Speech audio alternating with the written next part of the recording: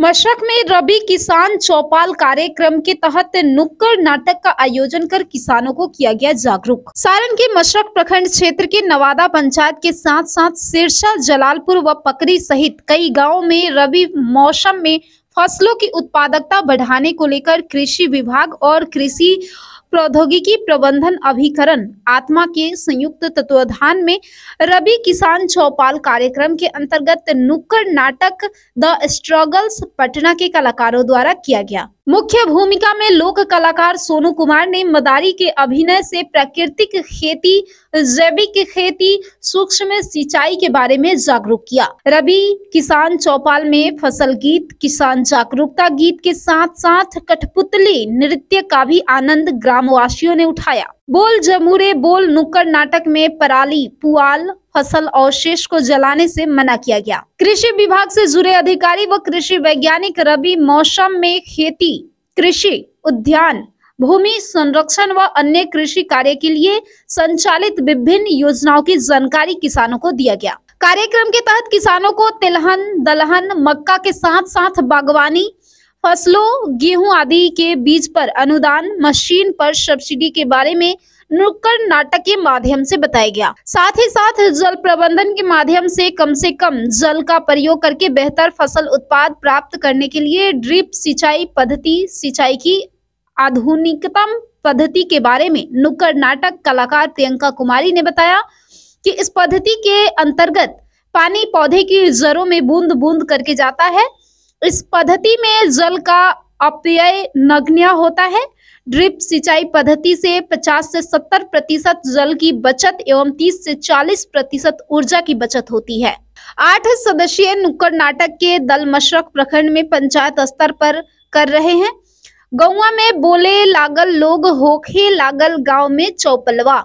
देशवा के हम स्वर्ग बनाई करके मेहनत ज़ोर हो। ड्रिप सिंचाई योजना अपनाइब बढ़ब विकास की ओर हो।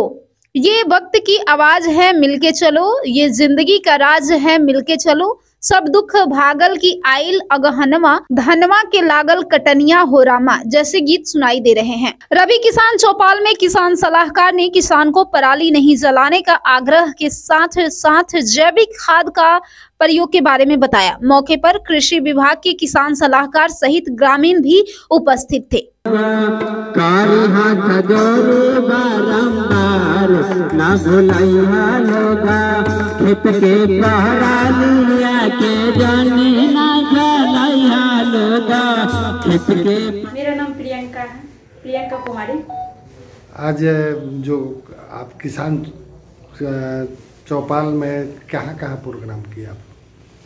आज नवादा पंचायत में किए। नवादा पंचायत में तीन गाँव में हुआ ठीक है? जिसके बारे में बताए हैं कि पराली नहीं जलाना है। खेतों में आप लोग पराली जला के नष्ट कर देते हैं तो उसको नहीं जलाना है। उसको एक जैविक खाद के माध्यम से उसको खेत में ही जितना पुआर पराली है ना सबको जमा करके एक कोना में रख दीजिए उसे मिट्टी से ढांक दीजिए उसर गल जाता है तो वो खाद बन जाता है। लेकिन उसको जलाया मत कीजिए उससे प्रदूषण फैलता है उससे हवा दूषित हो जाता है। और यही सब के बारे में। दूसरी खाद हाँ, दूसरा खाद। खाद के बारे में। आप लोग रासायनिक खाद ज़्यादा डालते हैं। रासायनिक खाद डालते हैं दो किलो की जगह चार किलो डालते हैं ताकि ज़्यादा उपजा हो। लेकिन ऐसा होता है लेकिन उससे कई बीमारियाँ होती है। इसलिए आप लोग रासायनिक खाद को धीरे धीरे कम करें और जैविक खाद का उपयोग करें। आई पायल कौन ला के दिया? अब चुनुआ मुनुआ कौन ला के दिया? नहीं है रे।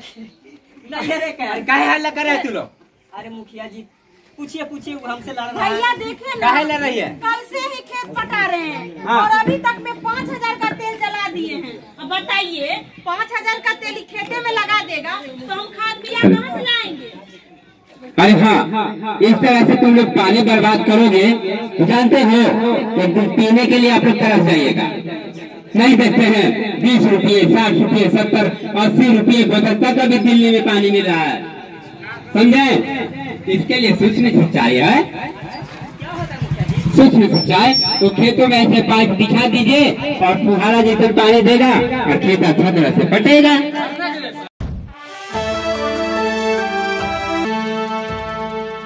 जुड़ो दीक्षांत से करो फ्री खुद को स्ट्रेस से। गूगल प्ले स्टोर से दीक्षांत ऐप डाउनलोड कर अपने स्टडी को बनाओ आसान और मज़ेदार। दीक्षांत देता है topic wise video with animated visuals and concept by the study materials